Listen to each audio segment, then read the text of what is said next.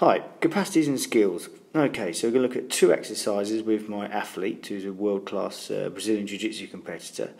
Uh, the first exercise we're going to look at is uh, walking on hands, which is a bit of a CrossFit popular exercise at the moment, but also very popular Jiu Jitsu training. Um, Jiu Jitsu, the, the, the uh, isometric strength in the shoulders and forearms used very much in grappling. So let's have a look at the, uh, the technical model first of all. Um, so this is taken from a gymnast, so we can see that a perfect handstand, ready to walk on a hands position, is external rotation of the shoulder, lumbar and thoracic extension, lengthening of the glutes and the sacrum, and hamstring extension. So, in consideration of this, we'll now look at a video example of my athlete uh, attempting the same movements. Okay.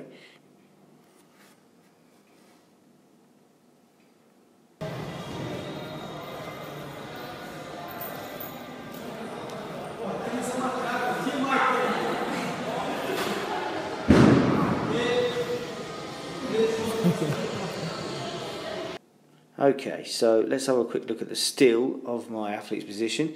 The main things to note is it has the skill but not the capacity to extend in the, the glutes and the hamstring, and there's hyperextension of the back causing a very unstable position. So my athlete starts the movement. Uh, we'll slow this down. so get into the uh, starting position. Straight away, very much used to using the legs as a means of balance rather than using uh, thoracic extension, um, lumbar extension, hamstring extension, tightening of the glutes.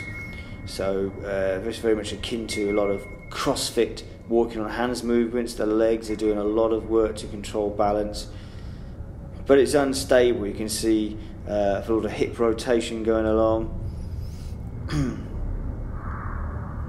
okay, um, pretty strong in the external rotation of the shoulder. But what we need to correct to get the skill right is the capacity to actually straighten out the uh, the legs, so we can create a more stable position and try and get rid of this hyperextension of uh, the thoracic and uh, lumbar back. See my athlete falls, he's very used to tumbling from jiu-jitsu. Uh, normally, I think I'd be pretty worried about uh, somebody falling into this position, but he does have the uh, the skill and the capacity to fall very safely.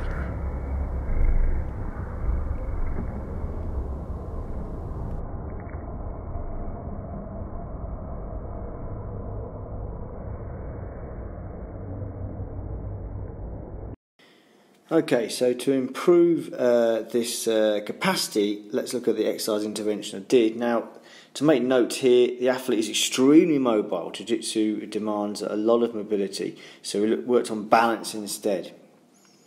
Um, and the, the balance exercise we did were wall-based um, handstands to, to feel the, uh, the extension of the thoracic uh, lumbar vertebrae, the hip, to get used to that balance point and then take it to the, uh, the floor position.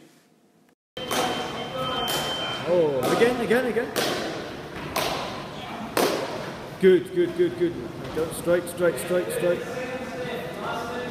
Very good, very good, very good, very good. So the movement down, we see, yep, we've still got quite a bit of uh, hyperextension in the, the lower back thoracic and the lower vertebrae.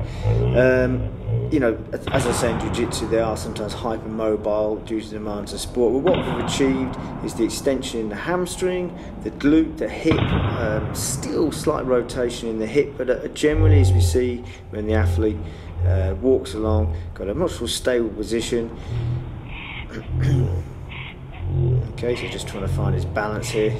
So it's particularly more of a balance uh, capacity rather than the skill. Here we go. It's much better position, a lot more stable. Um,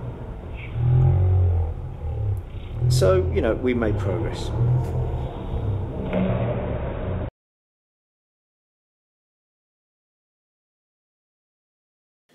So the next move concerns the box jump where we had the uh, capacity not the skill. Do two more for us.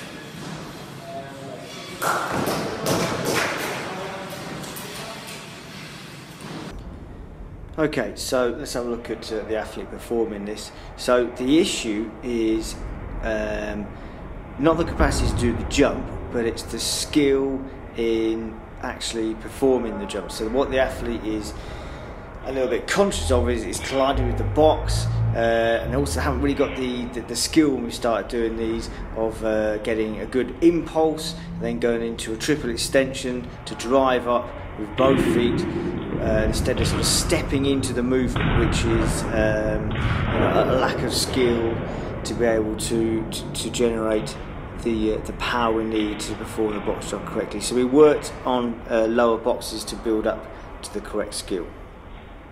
Stance, just going straight. Big impulse, power, drive up, stand up straight at the hip. Much better, take your time. Good. Okay.